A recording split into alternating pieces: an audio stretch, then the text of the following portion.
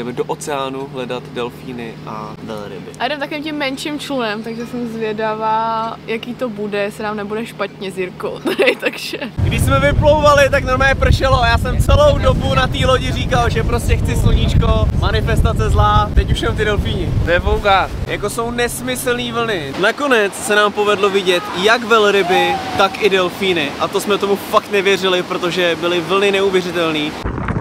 Delfíni, takže právě tady se stalo tím, jak jsem vylezl ven a byla mi zima, tak jsem se musel rychle prostě usušit a tak a začalo mi být nejvíc špatně z toho, jak se ta loď nakláněla. Jako jediný jsem dělal hrdinu a nevzal jsem si kinedril, všichni ostatní se ho dali a karma zdarma.